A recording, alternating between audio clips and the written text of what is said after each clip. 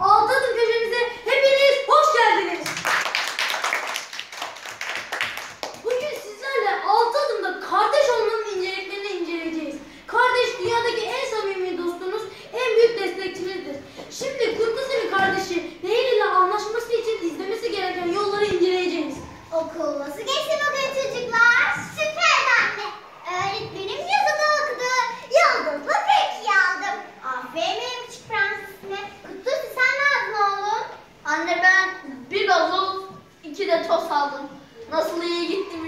oğlum kıttı sınavdan kaçardı yavrum. ha sen onu diyorsun ya. Bizim hocalar daha sınavlar okumamış.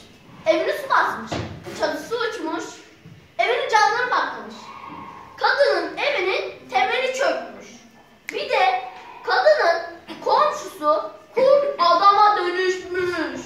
Kıttı bu kadının bahçesinde doğal afet mi besliyormuş çocuğu? Ayrıca kurt adam nedir ya? Doğru. 你知道怎？